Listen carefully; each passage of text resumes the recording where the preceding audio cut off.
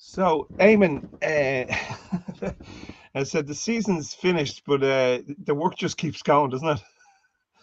Absolutely, uh, Alex. Uh, this weekend would have seen uh, a lot of uh, clubs hosting end of season awards. You know, mini league finals, all uh, coming to a crescendo. I'm sure there's lots of clubs out there that had bouncy castles and face painting, but uh, I suppose it's the trophies being given out to individual teams um, and also player of the year awards. You know, that just very empowering for for young kids to to receive trophies. Um, and you know, this weekend would have seen wholesale um, trophy sales and um, been handed out to the worthy recipients.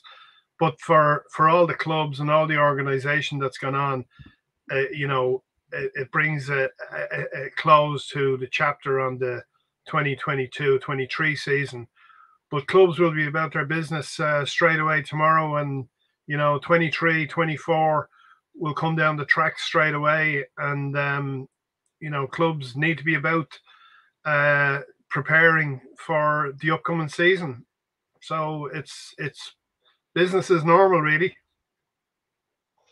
well, you know, it's interesting because yesterday at the uh, FAI grassroots convention at the Aviva Stadium, um, one of the questions asked um, um, asked by Mark Canham, I think, um, was you know you know people were able to answer it online or whatever, and one of the questions was about you know whether people favored calendar year or um, winter seasons, you know, and it's important for us to realize that a percentage, uh, in fact, it was kind of 50 50, 60 40 kind of thing, but a large percentage of affiliates and leagues and teams play are still playing, are actually playing their season now. And uh, from a from your perspective, and you're well in the know, if you had to say out of you know out of hundred teams, what percentage of of teams are currently playing? Apparently, there's about eleven hundred clubs, but what percentage of teams do you think are actually playing and are still playing their season now, playing in summer leagues? Yeah, I, I calendar well, year. I, I don't know the exact figure. And of course, calendar year football was pushed heavily by the FAI a few years ago, and you know, it, it caused a lot of dissent, a lot of friction within within many leagues. But I know there are many leagues who are more than happy with uh, calendar year uh, football. I know the the amateur league here in Dublin uh, still going. Um, I, I, know the Kildare League, Kildare District League will be running calendar year over in Mayo. Uh, and they were one of the first in many, many years ago. And I, I recall talking to a journalist over there, and he, he, told me that the the year before, when they were on the traditional, you know, September to May, June season, they'd lost close to 300 matches uh, because of weather. And the first year in, in calendar year football, they lost something like 10, 11, or 12. And most of them were for, for believe it or not, stag weekends and weddings. So there there are there, there's traditionalists who who like you know the idea of the September to to May June uh, season and what that tends to you know when you drill down into it you find that a lot of kids go back to school in September and that's where a lot of the schoolboys would focus their starting point on you know that there are holidays throughout the summer and um, you know, like players missing. But you also got to remember in Ireland, and I know, you know, like global warming uh, ha- is having its own impact. But uh, traditionally, I mean, the, the, the pitches are at their best during uh, summer, you know, where the, the grass is greener and uh, the weather is better. Um, whereas, you know, you're you're facing into a bleak winter, and you know, you always sort of you always are concerned for substitutes standing on the line, shivering, just you know, eager and anxious to get onto the field of play to warm up. Um, so there, there, there are two camps here, and uh, you know, if it was 90-10, you know, you might have a different argument. When it's 50-50, well, you know, it's it's it's quite difficult. And the FAI, I mean, did push a couple of years ago to have a calendar year season across the uh, um, the whole of their their affiliates, but the decisions were made at local level in, in, in many cases, and some of them opted to go. Uh, she mentioned like Northeast Football League, um, Meath, Cavan, Louth. They're running a, a winter or a, a calendar year season as well. And you got to remember that a lot of these leagues are run very successfully. And equally so, the traditional, you know, sort of uh, season starting in September, late August, September, also run very successfully. Um, so trying to get everybody onto the one page is a very, very difficult thing to do in Ireland. Uh, and I don't yeah. think that's going to change too much. No, I don't think so. And and and, and you know, it's it's it's it's it's nice to have these type of breaks where where teams can go off on trips and do different things, and clubs can have these mini World Cups that uh, seem to be so successful and people enjoying them so much. But um, more uh, more about the the stuff that's going on, especially the representative football that we we've seen so much of lately. We're just back from the Regions Cup, and um, you know, we had a, a, the FAI schools finals were on. Oops, we're on there in the uh, in the AUL. We managed to get catch a couple of those couple of those games, and um, you were the goalkeeper, Alex. Were you? One second.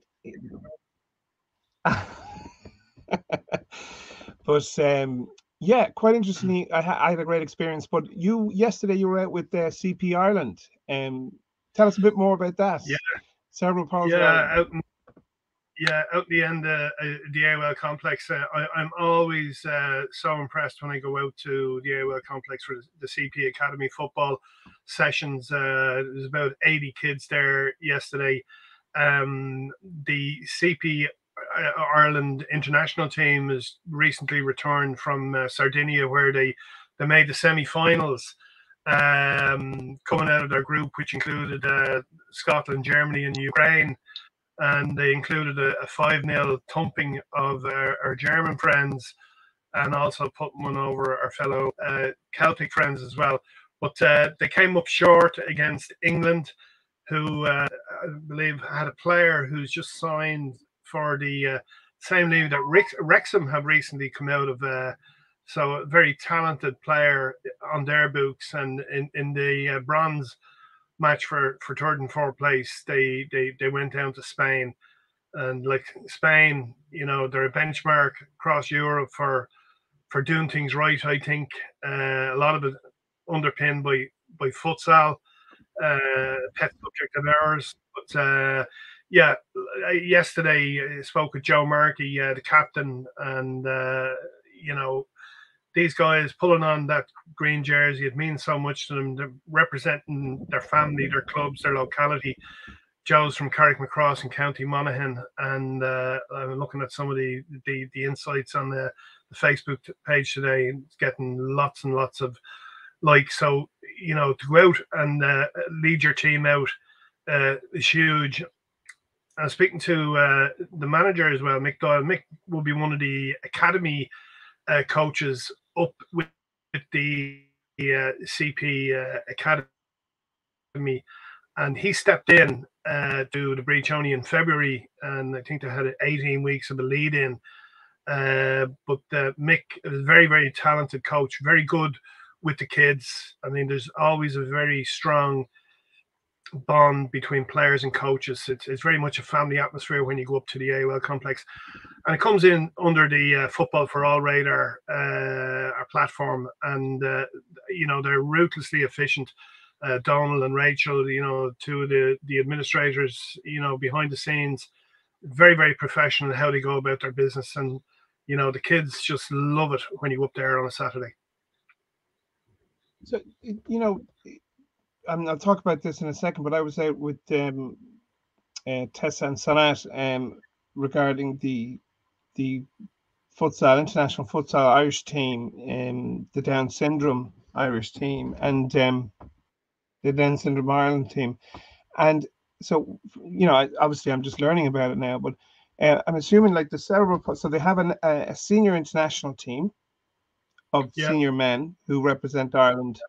Um, and they are they are they are filtered from a, a range of uh, cerebral palsy players who play yeah. in. How does can you shed some light yeah, on how that works? Because well, what, what I got a sense of is there's players coming from all over Ireland. You know, there's there's an intermediate, there's a junior academy, and the great thing about yesterday is that some of the the, the international, senior international guys were in attendance, and like they, they were superstars for these younger kids, and they can see that pathway, you know, from from you know when they come into the academy all the way up to senior international uh, uh, football.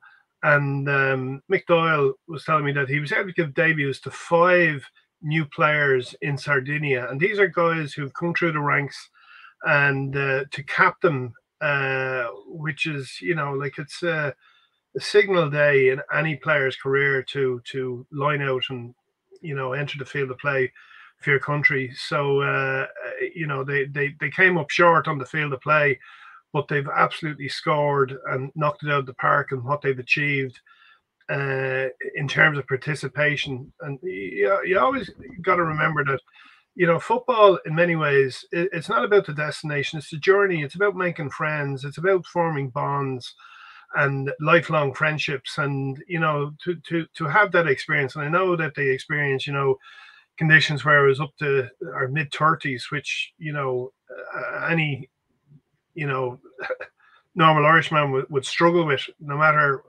what factor you have on. But uh, like to, to get through to the semi-finals, and you know they're they're ranked in the top four in Europe, and that's just a massive, massive achievement uh, and great recognition uh, for them. And I have to say, you know, the the FAI funded the trip. Uh, and, and we're very, very strong uh, um, collaborators in everything that they've done. And I know everybody up at the, the, CP Football Academy are extremely grateful for for the National Association's input into the whole program. So just so that I understand, the the kids that were in the photographs, the the academies, and um, so do they play? Do they play with other? You know, how do they do they play in, in CP League? Uh, can you yeah. some light and that. I'm trying to understand the kind of the more yeah, junior they, side, side of it. They, play challenge matches every so often, you know. So they the the the, the opposition would travel out to the AUL complex and uh, uh, offer opposition. Um, so it might be, you know, an underage club. I know Raheny United were out there. I think last time I was out, and, and they would have other clubs who go out and I should also say that uh, the CP Academy has recently started uh, a girls team, and I believe there's a there's a tournament coming up in uh, in I think it's Denmark and Copenhagen in a couple of months' time. And really, you know, like I know that they're they're always looking for for influx of new players to come into the program, uh, but it's a it's a, it's a wonderful platform, wonderful setup, and there, there's extremely good uh, um, uh, coaching on hand. I know they they they they've introduced uh, um, sports science into it in terms of uh, their conditioning. And Ian Cherry, you know, sort of well-known League of Ireland goalkeeper, is the goalkeeping the coach uh, for for the academy. So you know they they they they they they're setting extremely high standards for themselves, and that can only benefit the players. You know when they step across the whitewash. Okay, so so from my understand, so my, my understanding is the whole exercise really is about widening, widening the net. Yeah, yeah, uh, you know, it, so it, it's more, it's an, yeah, it's an academy, so it's training, coaching, um, you know, tactical what goes on in in the complex, but it's it's it's preparing them for international. You know, the academy is, a standalone academy. There is a, a, a national team uh, out there, and you know, I, I understand that there there are other um, CP academies operating around the country, but this one in, in Dublin does attract players from from around the country who travel up on a Saturday uh, to to the complex, and uh, you know they're there two and a half three hours. They they they be given lunch uh, before they depart for the four corners, but uh, very well structured. And I, I, know the the CP Academy are extremely grateful to the Athletic Union League out in Clonshaugh, who who don't charge them uh, for hire of the facilities. That they they recognise the benefits and and you know it's a very benevolent. Uh, act on the part of the AUL that they provide those excellent facilities that they have out in Clonshaugh for the CP Football Academy. Well, I had a fantastic experience uh, yesterday. I went out to um, actually went out to it's it's quite close to um, I don't know what the name of it is. Is it the Technical University out in Blanchardstown? TU Blanche? Is this? TU, TU yeah, it used to be IT Blanche, but TU TU Blanchardstown, Technical University Blanchardstown, Blanchardstown, not too far from yeah. uh, so, headquarters in Abbottstown. Yeah. That's right. Yeah. So anyway, I found the um the the sports hall. It's quite well hidden, even though it's right beside the car park. But um, I found it, and uh, it was brilliant. I I set up a camera um to capture some of the the content. Uh, we captured um, we did a squad gif. I was managed to interview all the parents and get a sense of the journey of each player a sense mm-hmm. of the, the you know how involved the community were even in in in hearing that the the guys got news of of their selection on the team and also i learned about the the challenges and the also the help the community have been providing in terms of fundraising as the families need to uh, fundraise to go on this trip uh, i learned about the trip itself it's uh, it's a european down syndrome championships so there's I don't know if there's a problem there with the sound, but the, so the good thing about it is that there's also athletics and artistic swimming. Mm-hmm. So there was a guy, a, a guy there called Liam and another girl who are that was very interesting to interview those parents. But the the real thing that I got from the whole, I mean, it, it was brilliant. But it, you know, I watched them. I did a little bit of work today, and I'd love to I'd love to just show you some of it. Um, I don't know if you got a chance, but I did a bit of playing around with this. Can I? I'm going to show you that here. Okay. So um, yeah, that's some of the gifts uh, and the celebrations that the players were getting up to. Yeah. Yeah. So I just yeah, I just they were great. We did a experimental gifts here where they they do the pose, kind of FIFA pose, and they were having great fun and uh, we did some of the wraparound ads there where we put up the the logos into the yeah. uh, into the hall, um, and of course. sponsors. Come on, you can see it the way it appears, like it's, it's, it's actually in there. And so yeah. futsal, futsal lends itself very well to this. Yeah, yeah. No, I, was, I, I, I recognize the venue. Blue, Blue Magic have played out of there many times, so uh, uh, interesting to see the doors open and daylight come in. Uh, uh, you know, it's usually nighttime when I go out there. But uh, yeah, look at a great facility, and a lot of these uh, universities and technical universities have absolutely brilliant facilities. You know, 4G, 5G pitches, and the best best of of um, surfaces to play on, whether indoors or outdoors. And uh, you know, while while the universities would have their own teams, isn't it great that the facilities can be utilized, you know, outside the academic year as well? That uh, you know, the the the Down syndrome Ireland can go in and avail of those facilities as they prepare for their upcoming uh, European campaign in uh, in Italy. Absolutely, they were very good. The the the the caretakers of the facility were very good. They let me access areas that were kind of close so that I could get a better camera angle on the pitch. Mm-hmm. But you know, I want to make a couple of observations. Um, so on Friday night, Friday night I was out at the um at UCD. Actually, I called into the UCD match against Sligo. Um, the UCD were one 0 down, and I went in with the kids, and they were two one, two one, two one. They they were winning two one after about 15 minutes of me going in. So I was lucky to see the two goals. But um, so I brought the kids over to the, the sports hall in mm-hmm. UCD and I took some photographs of the uh, not a futsal goal in sight. Um, uh, fantastic mm. facilities, but not a futsal goal in sight. And I know they're not using futsal because they had the small ones there.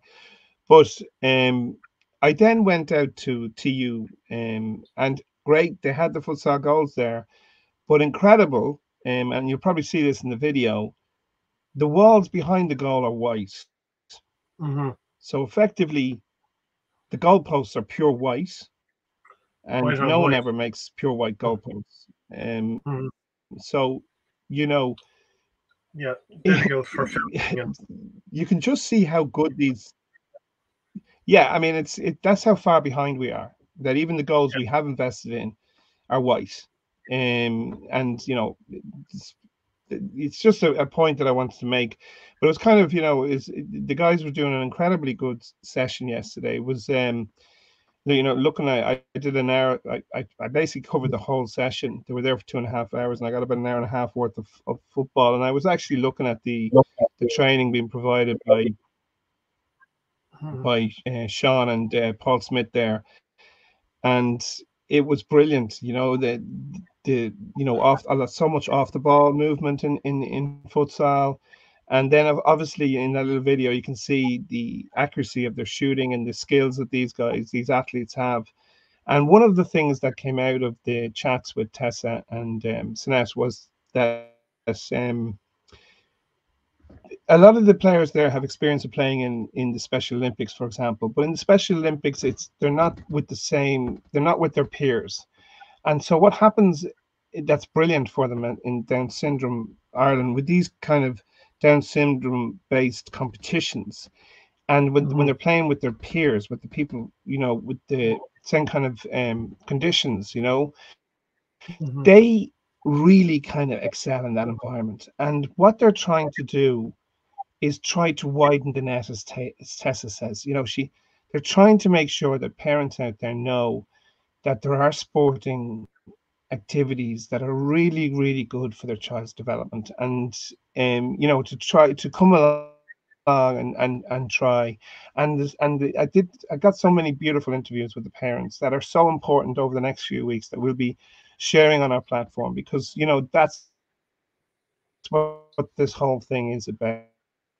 Yeah. You know um athletes yeah like uh, the football for all program you know the fai run uh, hugely important that there are so many uh, individual platforms. I, I, did notice today uh, across channel that there was, you know, we always talk about ability and not uh, disability, but uh, uh, in England today they had the disability FA Cup final, which is an interesting concept that you know I, I, I assume it was various platforms all competing for for an FA Cup which is something that perhaps you know the powers that be over here might look at.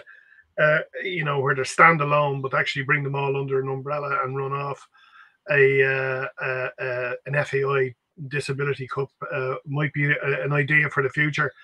I, I, think when you go and speak to these people, whether it's Down syndrome or uh, um, the cerebral palsy, people that they're always looking to bring new people in and yes, they're looking to identify players, but they're they're looking to bring people in to play with their peers uh, and and form bonds of friendship, and you know that's all part of the journey. Uh, and you know, like my own experience, you know, going out to the CP uh, Ireland uh, Academy is how encouraging other parents are of of their own, you know, siblings uh, um, efforts that they're always encouraging every single kid to be the best they can possibly be. And, uh, you know, I think it's a hallmark of the training sessions that there's so much uh, clapping and applauding and cheering that goes on.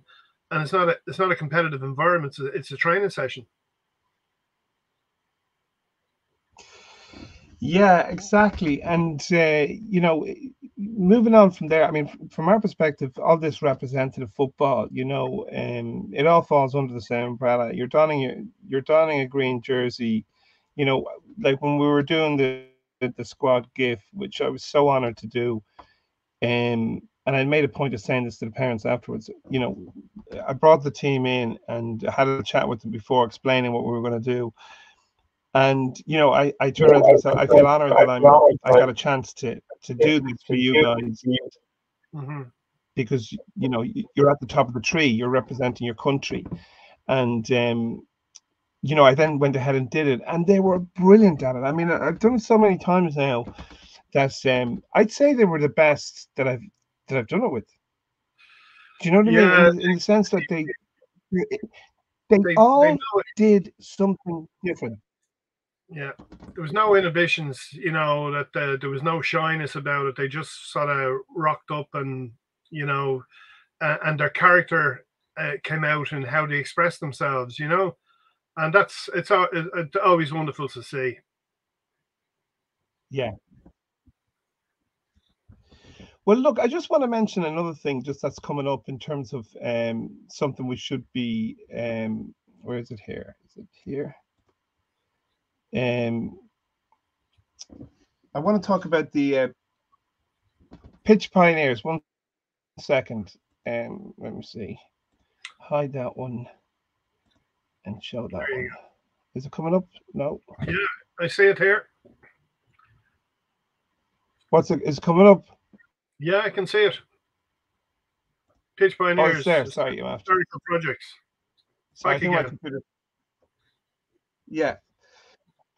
Yeah, sorry, that was me. I'm just uh, my computer's acting up. I think. Um, but look, I wanted to talk about something. We're working on a couple of projects with a couple of clubs, and I just want to let people and know about it, about them. Um, so there's a mm. lot of clubs that are coming up on their 30, 40, 50, 100 year anniversaries. And um, some of those clubs have their their pioneers, their their their founders are still with us. And um, you know, there's clubs are always looking for ways to generate income and what we've been talking about them and obviously we've been having these discussions is you know there's ways of making like let's say these kind of historical interviews. So we go down and we go to a club and we kind of take as much content as as possible um, including the the two or three founder members who are still with us. Um, and try and lay that down try and get that on camera try and get and we we we will do a striker job and and and, and create a kind of like hour long hour and a half long documentary type thing, um, for, led by them. You know, obviously, aiming yourself, you'll be driving the questions and getting the right kind of content out. And then we'll do also some kind of content on the the younger generations that are at the club now, yeah. you know, a bit on the club. And we build that into a kind yeah. of a package.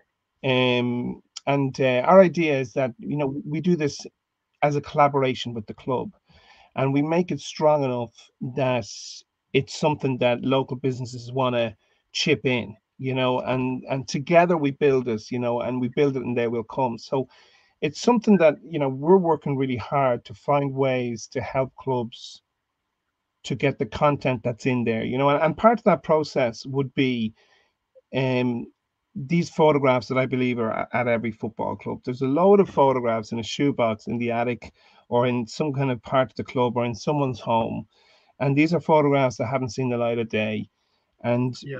a striker, the, the part of the service is to digitize those photographs and have them, you know, inside that that program, that kind of historical documentary or that kind of interview.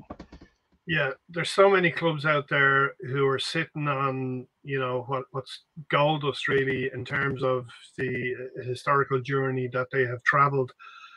And you'll always find that somebody in every club cutting has photographs, you know, you know, they've got the, the menus from the awards night, uh, and they're tucked away, whether it's in the shoebox or in a suitcase under the bed or in the attic.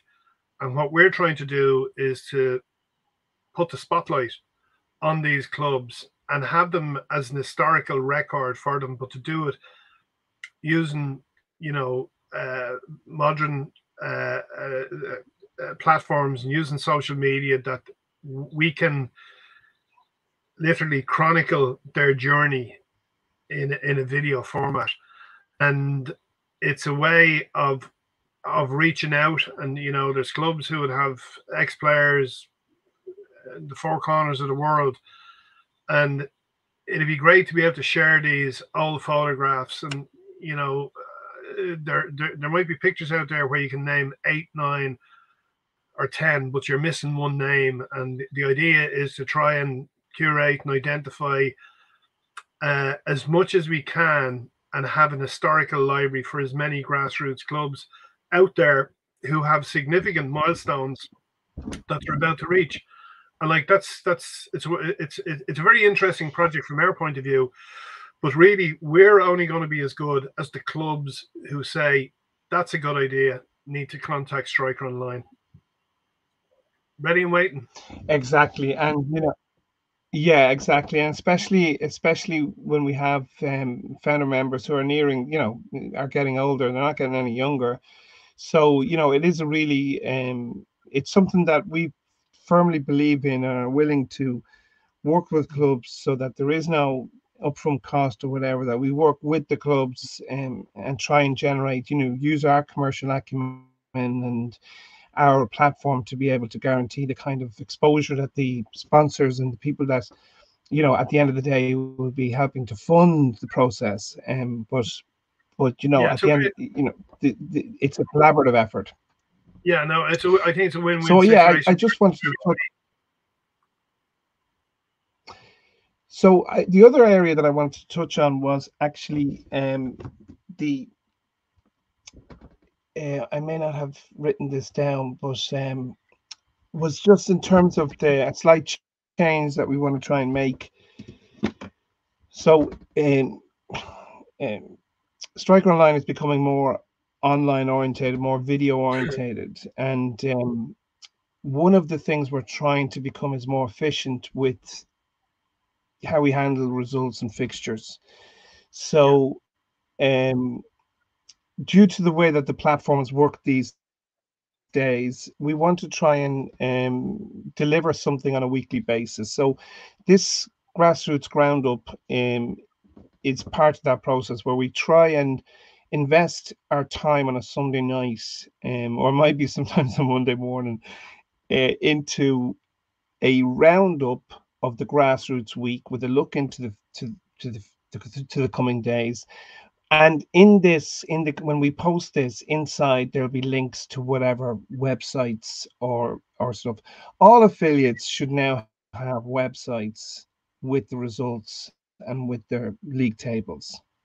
Yeah, uh, yeah, uh, like Sundays can be extremely difficult because leagues presented in different formats, and we're trying to extract the information and some of it is extremely problematic, you know. And the last thing you want to do is get into a double keystroke where somebody has already typed it and you end up having to type it out again.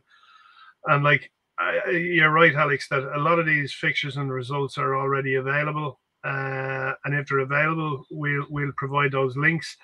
But it allows us to to give an enhanced service by putting the spotlight on on various leagues uh, and discussing and inviting you know managers or players in uh, to discuss matches of the day or indeed looking ahead to upcoming matches whether it's a, it's the local derby or it's the top of the table clash or indeed the bottom of the table uh, relegation six pointer um, and I think by, by doing that we, we can we can create debate.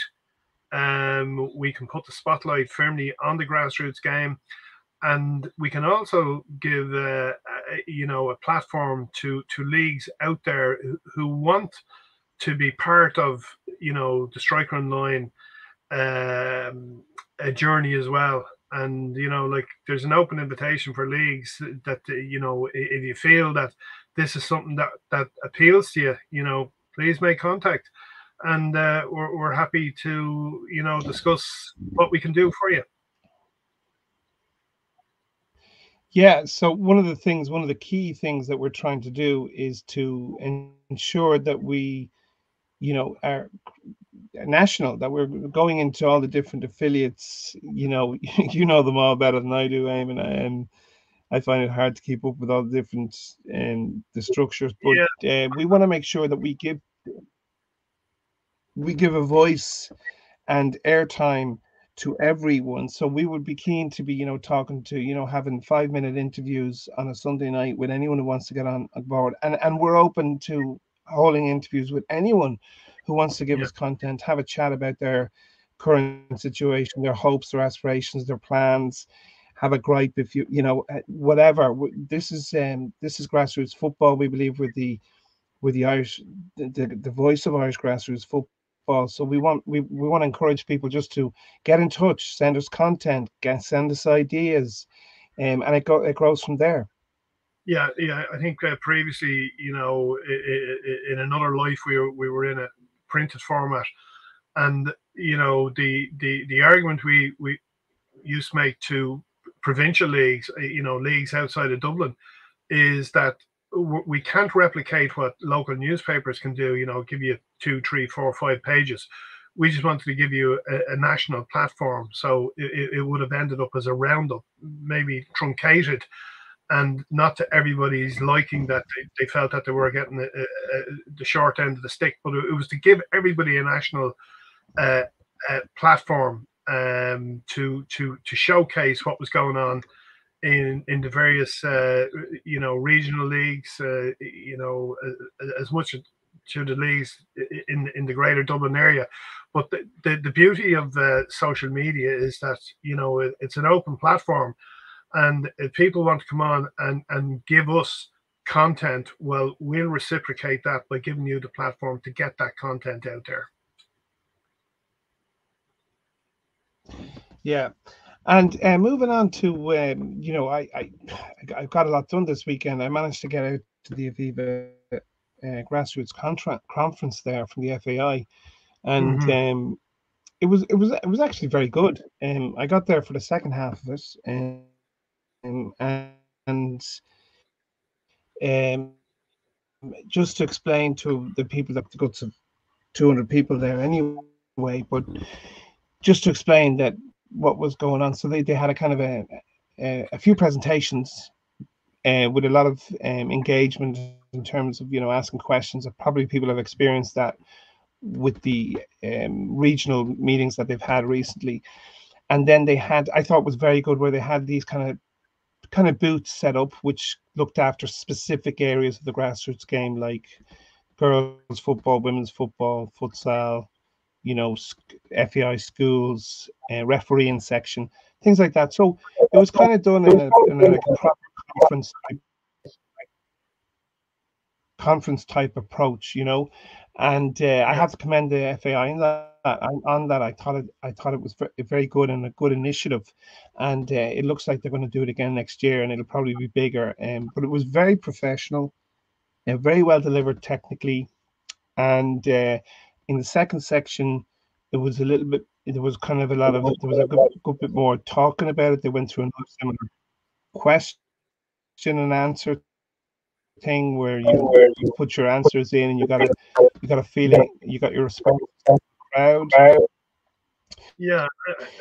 and Marc Canham made a, a, very good presentation where he was delivering the current strategy, and mm. and that's somewhere it's summarized in the sense that you know they're doing this kind of exploratory work and now they've taken all that information on and they're doing this kind of development of a strategy and they're going to be yeah. implementing that strategy at the end of the year coming into the new in the new year next year yeah so i think i think they're trying to communicate that you know they're really working hard to get everybody's um input and they're trying to make sure that you know well we gave you an opportunity you know um, it seems to me like it's the same situation that that uh, it's it's very communication issue sometimes. So, for example, I didn't even know the grassroots this grassroots convention was on, and uh, so there is sometimes a, a, miscommunication, and maybe they didn't want to sell it too much because there's only 250 seats, but but it was it was good. And they talked about two areas. You know, when they say pathways, you know, most people think that pathways only means, you know, your pathway to professional football.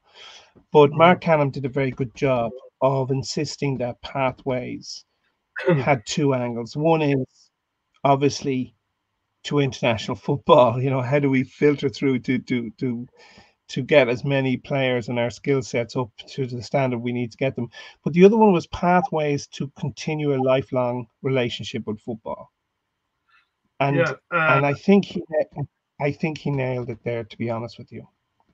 Yeah, uh, look, I, wasn't in attendance, but I, I, I, would be aware in recent times the FAI have had uh, TV advertisements about uh, volunteering and getting involved in the game and, and trying to create an environment where you know you're reaching out into the community and uh, you know I think I've seen some some uh, uh, Dublin bus uh, sporting some some uh, FAI ads as well, and I think it's very important that uh, you know that this resonates with the with the grassroots community throughout the country. I think in recent years, perhaps the FAI had bigger fish, fish to fry, and there might have been a, a, an element of discontent within the grassroots. But obviously, that recent facilities investment uh, vision uh, strategy document, where you know they they've uh, obviously it's going to require a lot of capital investment, but the, the largest tranche of, of that money. Uh, I think it was 863 million, but the bulk of it is, is being targeted at grassroots and that's hugely welcome uh, for so many clubs around the country. Uh, whether it's the installation of uh, you know all weather surfaces for upgrading of pitches, upgrading of facilities. Um, we got to remember that association football remains the biggest participation sport uh, in the country, and it requires uh, massive, massive investment. And obviously, with the the the uh, Women's World Cup coming up in Australia very soon and New Zealand, we're expecting a massive explosion in um, girls football participation numbers, and clubs have to be able to accommodate. And it's no no longer an excuse to say we don't have the facilities. You know, we're not taking girls. It's 2023, and girls have as much right to play football uh, as boys, and clubs have got to you know recognize that And I think the FAI are, are, doing a good job here by by uh, hosting um, platforms like they did in the Aviva on Saturday, where they're trying to create that environment to get people involved, but not alone involved, but also to stay in the game and make that contribution uh, to their local community and indeed to their local club. Yeah, well, I understand what you're saying. I mean, you know, there is there's two two two things that I want to say to you there. One of the points that I made to Mark, but I only made one point to Marc Canham, which was, you know, uh, we're talking about facilities development here. And um, the fact is that the growth of the grassroots game, the growth of football at the moment, there's no way that our current infrastructure, even if you even if you doubled the amount of facilities we have, right, we still wouldn't have the volunteers able for it. So mm-hmm. we're creaking at the seams, in my opinion. And um, you know, we are not going to be able to deal with the amount of of, of people who want to play the game. And and what we're seeing is um, both at six aside, seven aside, uh, in you know all these other games, these kind of branches of football, is growth. We're seeing growth in football everywhere, and so um, it's very hard to get on an 11 aside pitch. It's difficult. It's even difficult to keep an 11 aside team going. Everyone knows that, you know, whether it's over 35s, it's difficult. It's it's just tough. But, but at the moment, one of the points we made was we have hard surfaces both indoor and outdoor at every primary school and post primary school in the country. You know, and they can be turned into yeah. um, into futsal, Olympic handball pitches, walking football pitches, with an investment of fifteen hundred euro for two futsal goals. That's going to last about fifteen years each. You know, mm-hmm. uh, I'm not saying that is something that you know can help to ensure that kids get access to football because we know they're not going to get access to the SSG game. They're not. Not mm-hmm. they're not going to be able to satisfy. We don't have the volunteers to do that. But, but anyway, that was one one thing. But talking about the facilities, and I need to understand this because maybe other people are in the same boat as myself. The facilities development plan from the FAI, that's kind of like just an idea that they're putting forward, isn't it? They're yeah, just saying it, to the to the government. Well, uh, it, it's actually it's actually based on on research, and you know they they they they they've actually commissioned studies uh, to stand up the figures that they've they've they've come up with, and it's all based around um, evidence based uh, um, work carried out on behalf of the FAI. And they're saying, like, it's over a 15 year period that this is what it's going to take to match the growth. So, you know, there's government growth, or there's government uh, contributions to UEFA, there's FIFA, there's uh, private, there's public uh, monies that they, they, they, they're going to look to target. Um, but like with any project, you got to start somewhere. So the work that they've undertaken to date is to spec out what it's going to cost, and it's it's uh, you know it's a it's a sizable amount of money, um, but the game is continuing to grow in numbers, and like the the uh, the influx of of girls' participation is just going to skyrocket uh, the numbers involved in the game. And unless we invest in facilities, we will struggle to cater for the numbers involved. So it's it's it's a you know is it the right time?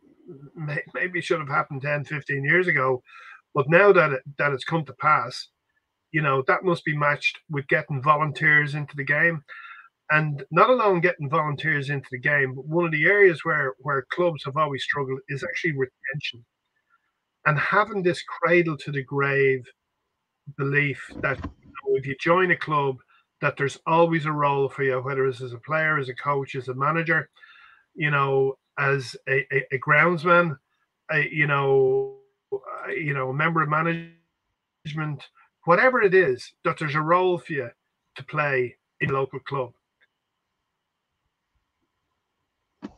Yeah. Okay. Well, look, just we're coming up to the end of our uh, program, um, and I just want to look at the week ahead or the couple of weeks ahead. I, you know, it's hard to catch your breath. It's hard to catch your breath at the moment, but I'm um, I've got to I've got to finish off my content or our content from this weekend and and meet up with Tessa and and Sanette regarding a strategy going forward for the September championships. I want to try to meet with uh, Emmett Switzer regarding the uh, six-a-side World Cup, which is happening in the Middle East. Um, I've a meeting with Class Kicks, and um, that's um, really innovative football bits that they're they're for kids for introducing kids into football. And um, um, um I don't I I haven't I, I have to look at my diary. What have you got? well, there's never never a dull day. You know, I I always end up doing something in front of the computer one way or another. Um, so you know, normal week for me is actually a busy week. Uh, probably still recovering from all the, the the the huge input that we generated over in the UEFA Regions Cup. Um, but like uh, Alex, there's always planning. There's always something to do. You know, and you know, uh, uh I'm looking to give the, the laptop a bit of a holiday, but uh, so far I haven't been able to manage it. Look, you, you did touch on you know what, what, we're talking about and what we're talking about.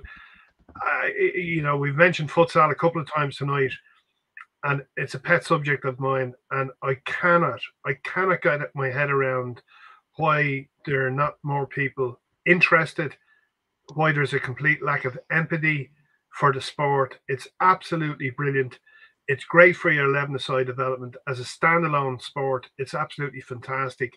And so many people involved in 11 side football in Ireland are missing the biggest trick of all time by not engaging in this wonderful sport. We'll continue to beat the drum on it. And uh, I know there's good work being done, FAI schools, well, and around the country. A futsal, great sport. You need to investigate it. You need to get going. Yeah, well, we'll leave it at that as our first uh, edition of the grassroots ground up. I appreciate your time, and uh, I hope we make a, a, habit of this every every Sunday night. I look forward to this, even if it has to be over a pint occasionally. okay, Alex, no problem. Thanks, Eamon. Have a good, have a good night. Cheers, bye. All right, see you then. Bye bye.